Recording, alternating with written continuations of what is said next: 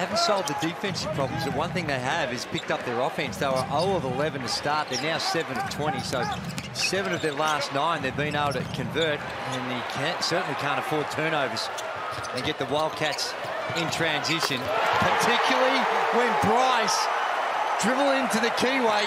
So he knew he was going to rise up into an uncontested three. He just does not stop moving. Same exact move.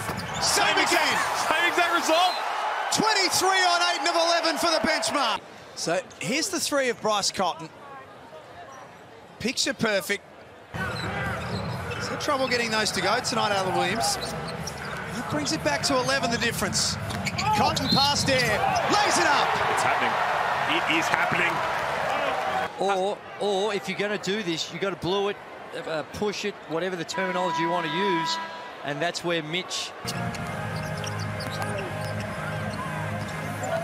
Harris to Harris. Left-handed layup. It's tough. Turn the corner.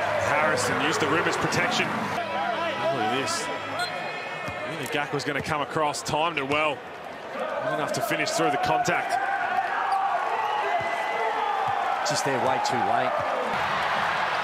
There's a turnover and an easy bucket for Keanu Pinder.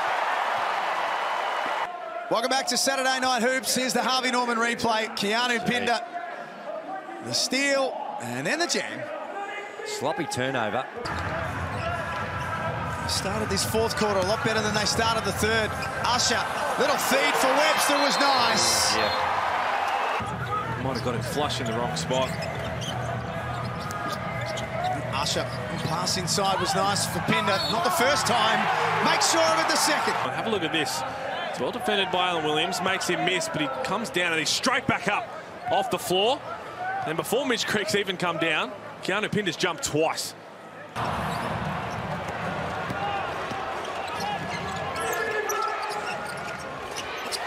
Bennett.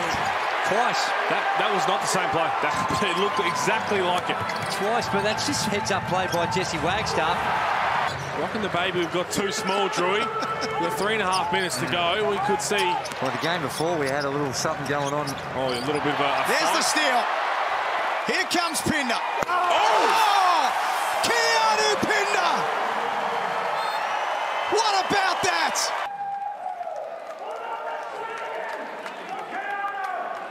Got it with ease, didn't he? John Rillie's turn to the bench. Ben Henshall out there.